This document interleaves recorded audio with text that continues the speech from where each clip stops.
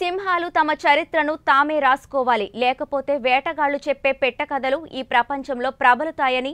అలాగే మంచికి మారు పేరు మాల అయితే మాలను నేను అవుతాననే గురజాడ అప్పారావు అనడం జరిగిందని ఏపీసీసీ సభ్యులు ఎర్రగొండపాలెం కాంగ్రెస్ పార్టీ నియోజకవర్గ ఇన్ఛార్జ్ మేడబలిమి వెంకటేశ్వరరావు గుర్తు చేశారు. ప్రకాశం జిల్లా స్థానిక అంబేద్కర్ నగర్లో వైసీపీ ఎన్ఆర్ఐ ప్రభాకర్ రెడ్డికి శవయాత్ర చేశారు. ఈ శవయాత్ర స్థానిక అంబేద్కర్ నగర్ వరకు కొనసాగింది. అనంతరం దిష్టిబొమ్మను దగ్ధం చేసి తదుపరి విలేకరులతో కాంగ్రెస్ పార్టీ నియోజకవర్గ ఇన్ఛార్జ్ మెడబలిమి వెంకటేశ్వరరావు మాట్లాడుతూ మేము అంబేద్కర్ సిద్ధాంతాల ప్రకారం ఆశయాల ప్రకారం ఆ మహనీయుని మాట ప్రకారం డి అంటే డి పందెంలో పాల్గొంటాం. ఖబర్దార్ ప్రభాకర్ రెడ్డి నువ్వు ఇతర దేశాల్లో ఉండి మాట్లాడడం కాదు. ఆంధ్రప్రదేశ్కు రావాలని దమ్ము ధైర్యం ఉంటే ఈ భారతదేశంలో ఎక్కడైనా సరే వచ్చి మాట్లాడాలని విమర్శించారు. దళితుల పక్షాన సవాల్ విసురుతున్నామని అన్నారు. ప్రభాకర్ రెడ్డి ఎనిమిదవ తేదీన ఫేస్బుక్లో వాట్సాప్లో సోషల్ మీడియాలో నానా విధాలుగా దుర్భాషలు ఆడి మాల కులం పేరు ఎత్తి దుర్భాషలాడటాన్ని ఖండిస్తూ దళిత సంఘాల తరపున ప్రభాకర్ రెడ్డి శవయాత్రను అంతిమయాత్ర చేసి దిష్టిబొమ్మను దగ్ధం చేయడం జరిగిందని అన్నారు. దీన్ని దళిత సంఘాల తరపున ప్రతి ఒక్కరూ ఇదే విధంగా ప్రభాకర్ రెడ్డి దిష్టిబొమ్మను దగ్ధం చేయవలసిందిగా దళిత సంఘాలకు పిలుపునిచ్చారు. ఈ రాష్ట్రంలో మాకు రక్షణ లేదా? మేము ప్రజాస్వామ్య దేశంలో లేమా? ఈ రాష్ట్రంలో ఎన్నో ప్రభుత్వాలు మారుతున్నాయి. ముఖ్యమంత్రులు మారుతున్నారు అధికారులు మారుతున్నారు కానీ దళితులపైన దాడులు ఆగడం లేదని మండిపడ్డారు. ఈ కార్యక్రమంలో అంబేద్కర్ నగర్ యువకులు మహిళలు తదితరులు పాల్గొన్నారు.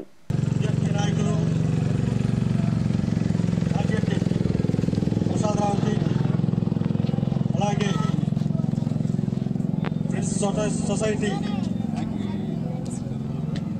ఇస్మాయిల్ గారికి అలాగే బీటీ సంఘ నాయకులు శ్రీరాములు గారికి చెన్నకేశ్వర గారికి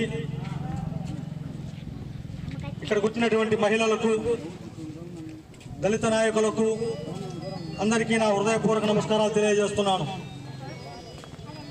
మొన్న ఎనిమిదవ తారీఖు ఎన్ఆర్ఐ ప్రభాకర్ రెడ్డి మరి దళితులను కించపరిచే విధంగా దుర్భషలాడుతూ నాకు మాట్లాడి మాట్లాడటం జరిగింది. ఇది దళిత జాతికి మనోభావాలను దెబ్బతీసే విధంగా ఉండే తప్ప మరి ఎలాంటి ప్రయోజనం లేదు. సోదరులారా దళిత మహిళలారా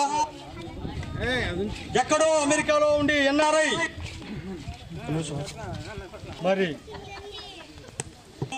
మాలనా కొడుకులు అని చెప్పేసి సంబోధించి మరి దుర్భషలాడినటువంటి ప్రభాకర్ రెడ్డిని ఎస్సీ ఎస్టీ అట్రాసిటీ కేసు నమోదు చేసి కఠినంగా శిక్షించాలని దళిత సంఘాల తరపున మేము డిమాండ్ చేస్తున్నాము. ప్రభాకర్ రెడ్డి దళితులను మాలలను బహుజనులందరినీ ఉద్దేశించి మాట్లాడటమేనని చెప్పేసి మనం దీంట్లో స్పష్టంగా అర్థమవుతుంది. మరి రాజకీయ అండదండలు చూసుకొని మరి కులాహంకారంతో మరి ఈనాడు దళితులను దుర్భసలాడటము ఎంతవరకు సమంజసం అని చెప్పేసి మేము అడుగుతున్నాము. మరి ఇదే దళితుల ఓట్లతో మీరు గెలిచి గత మరిచారా అని చెప్పేసి మేము పాలకులకు ఒకసారి గుర్తు చేస్తున్నాము. మరి ఈనాడు దళితులు ఎమ్మెల్యేలు ఎందరో ఉన్నారు ఎంపీలు ఎందరో ఉన్నారు మినిస్టర్లు ఎందరో ఉన్నారు. మరి ప్రభాకర్ రెడ్డి చేసినట్టు వ్యాఖ్యలను మరి ఎందుకు ఈ నాయకులు ప- లేదని చెప్పేసి మేము అడుగుతున్నాము. మరి దళితులంటే బహుజనులంటే మరి ఎంత చులకన అయిపోయిందని చెప్పేసి మేము అడుగుతున్నాము. మరి ఓట్లకు దళితుల ఓట్లు కావాలి. మరి ఇలాంటి సందర్భంలో అనువాచిత వ్యాఖ్యలు చేసినప్పుడు మాత్రం నోరు మెదపకుండా మీ రాజకీయ లబ్ధి కోసం మాత్రమే మరి మీరు పుక్క గడుపుతున్నారు. మీరు ఒకటే చెప్తున్నా మేము. దళితుల ఓట్లతో గెలిచినటువంటి నాయకులకు రానున్న రోజుల్లో అదే ఓటు అనే ఆయుధంతో మీకు సమాధానం చెప్తారని కూడా ఈ సందర్భంగా నేను గుర్తు చేస్తున్నాను. మరి ఈనాడు ఎందరో ముఖ్యమంత్రులు మారారు. ఎందరో ప్రభుత్వ అధికారులు మారారు. కానీ మా దళితుల రాతలు మాత్రం అలాగే ఉన్నాయి. మారనే మారలేదు. మారటానికి అవకాశం లేకుండా ఆ విధమైనటువంటి అగ్రవర్ణాల ఆధిపత్యంలో కొట్టుమిట్టాడుతున్నటువంటి ఈ రాజకీయ వ్యవస్థను మరి ప్రక్షాళన చేయాల్సిన అవసరం ఎంతైనా ఉంది. మరి నాడు రాజ అంబేద్కర్ రాసినటువంటి రాజ్యాంగాన్ని తూట్లు పొడిచే విధంగా మరి కేంద్రంలో బీజేపీ ప్రభుత్వం మరి అదేవిధంగా రాష్ట్రాలలో మరి ప్రభుత్వాలు మరి ఎంతో కసరత్తు మొదలుపెట్టాయి.